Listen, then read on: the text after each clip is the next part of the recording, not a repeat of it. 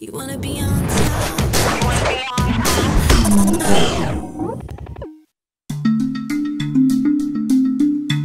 I'd have to say basically like um, the, the culture, the people. I love actually the people. The people would have to be my favorite. They're so beautiful and nice and friendly and just makes me feel in a good positive mindset.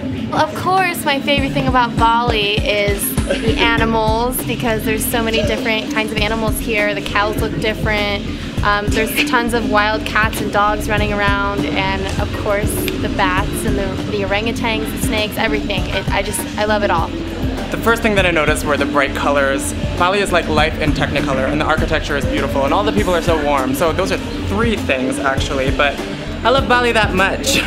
Uh, my favorite thing about Bali so far has been the, the views of the beaches, the rice paddies, um, and the weather too. It's not too hot and it's not too humid, so it's like almost right, perfect weather. Um, but definitely the views here, it's amazing. My favorite thing about Bali so far is how beautiful it is. Like from the buildings to the people to the religion, the food, everything just looks good. You just want to try everything because it looks so good. Bali is beautiful.